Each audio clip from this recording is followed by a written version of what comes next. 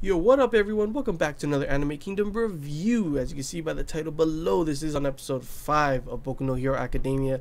And I gotta say, another great episode to be honest. I was looking up the forums too and other people's videos on the reactions of how well this, you know, the manga has been adapted to the, you know, how well the anime has been adapted from the manga. And people have been just saying it's pretty much perfect. It's been really well done. And that's honestly been getting me to think that I kind of want to read the manga now, to be honest. Usually I read the manga if, for several reasons.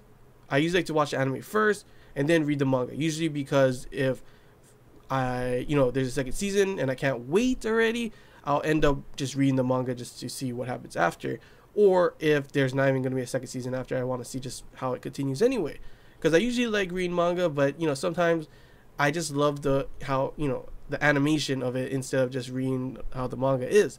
Not saying the manga is bad, but that's what I mean. I like the anime. I usually like watching animes better, just because it's like I like to read books, but I usually like to watch the movies kind of thing. But usually the books are better, so it's usually the it depends on how well it's adapted, and most of the time it's not adapted as well. But this one, people have been saying that the manga is being really uh, the anime is being re- adapted really well in comparison to the manga, so I might honestly go give it a try. Um, if you guys think I should, then feel free to comment below. But yeah, um, other than that, let's get on to how I felt about this episode because so this episode is pretty dang good, dude. Um, I love the comparison, the whole um, interactions between All Might and Izuku. Like seriously, he really does care about Izuku. Like seeing him, like worry about him throughout this episode, seeing the whole torch kind of thing going on, like how um, right now his torch is really weak right now, and it's gonna go through a lot of things like wind and rain and he's going to have to go through all these crazy obstacles. You know, it's kind of a metaphor for that kind of stuff. And sooner or later, his flame is going to extinguish, and you know he'll be able to move on with Izuku being able to be his flame's gonna be strong. So it's kind of a I don't know. I'm not gonna say he might die in the future, but it definitely shows that it's possible because what he said, and we already know that he is pretty sickly.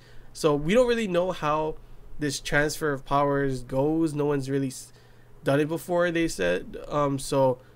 Honestly, it's possible that when he fully, you know, gives his power away to Izuku, he he, he might honestly die. Either that, or he'll just he means by extinguishing his flame, it means he's no longer going to be a hero because he's no longer going to have a power.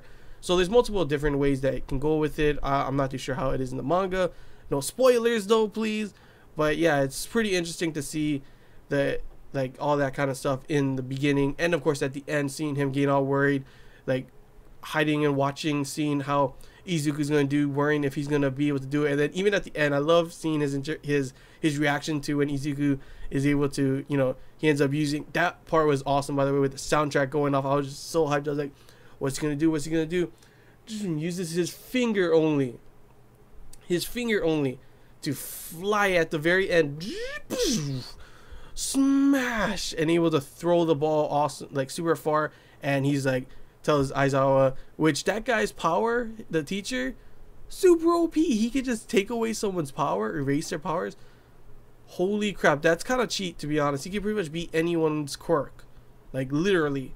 Of course, he tries to. He's not as well known as like someone like All Might, because he likes to kind of be on the down low kind of thing, and that's why him and All Might's not kind of you know they don't like each other really, and that's kind of why he's being the way he is to Izuku. So it's cool to see how at first he's like zero potential. There's nothing he's gonna be able to do, and after he does that, and he and then Izuku's like, haha, I could still move. He's like, this kid, because I'd be like that too, like this kid, man, he just he just showed me up like literally Izuku. I did not expect him to do that. I was wondering like what is he gonna do? Is I thought he was just gonna be able to control his power all of a sudden. But no, he's not really able to fully control it, but he was able to control it in the way that he only used his finger and only messed up his finger. And he still was able to move it after, which is probably pretty damn painful. But you, you could see kind of he was like, Ugh. but you just see I love seeing the growth and just how see how strong Izuku's like passion and drive is compared to everyone else. He literally, it's one of those stories, you know, that we always see cliche kind of thing where our hero starts off, you know, not as strong and then he strives. He works so hard that he gets even stronger than the people with these, you know, natural talent. For example, um, it's probably going to go in the way of somewhere how Katsuki is probably not going to be, he's going to see him get even stronger than him and they're probably you know they're rivals and everything like that. And I, I can't wait to see the day if there will be the day that he finally acknowledges Izuku. Probably not going to be for quite a while if there is ever going to be a time. But um, yeah, it was also cool, you know, to see um, Izuku finally stand up to Katsuki as well in that flashback kind of thing that like, recently happened before. Because of course he's pissed off that Izuku got to the school. But it's just it's just awesome. It's also awesome. This episode was awesome to see. I said awesome like three, four times already. But it's also awesome to see like literally all like more people's powers. We see like some frog girl or or something. We see some laser beam boy. I love the way he like thought of using his laser beam to propel him. Right when he's like, there's different ways you can use your quirks to do this, you know. And I, when he was facing backwards, like, oh my gosh, he's gonna blast himself. Of course, we learned that he can't really blast all the way. Um, we saw some weird guy with like going back and forth. I love that sidestep kind of thing. It kind of reminded me of One Punch Man, Saitama kind of thing, doing going back and forth real fast. Um, oh my gosh, that part with um, Izuku and um, Ochako was so cute. Oh man, she's the best girl. She's like, I see, definitely want to see more interaction between her and Izuku. Izuku like literally blushing red, like oh, oh, she's just all talking and everything. He's like, uh, oh yeah um and just like i talked to her pretty much like uh mm-hmm easy not really good with the ladies that's for sure um but yeah it's also it's just cool to see everyone's different powers all the comedy in this episode was also pretty funny seeing the interactions between everyone and oh my gosh, I can't wait for the next episode to see what Katsuki says when he sees, you know, because at the end they were all like, when when Izuku was able to use his power, dude. Now he's he thought he was just a worthless, you know, person with no quirk. He didn't know what happened at the initiation, but now he knows a little bit of what happened there. Um, I wonder if everyone still knows about his weakness in a way. Everyone saw it, well, almost everyone saw it.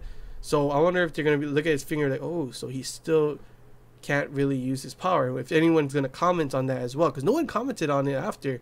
They literally just like, oh, okay, whatever. He, yeah, except Aizawa, he saw it and he tried to make it so he would be kicked off. Of course, Izuku showed him up, man. But yeah, it was cool how at the end All Might was like, "You're so cool." I would be like that too. Like, dude, Izuku's the man. He's awesome. But yeah, overall, awesome episode. Had a lot of um, great drama and seriousness in like during the you know, All Might with um, Izuku. Then we got a whole bunch of comedy in the episode as usual, and just it was awesome to see everyone's powers and see um, Izuku triumph over another obstacle. How many more obstacles will we have to go through? Probably a lot, but I cannot wait to see his growth throughout the the whole season. Because seriously, so far it's it's been pretty awesome. I am loving this anime a lot, and I like I said, I might go end up reading the manga as well because it's so awesome to be honest. But yeah, it's all I gotta say about the episode, guys. Honestly, another awesome episode. So far, every episode has definitely like been definitely been a hit for me. I've definitely enjoyed every single one. But um, yeah, hope you guys enjoyed this um, Anime Kingdom review. If you have any questions, feel free to comment below. There's anything else you want to talk about, comment below as well. And until next time, guys. See ya.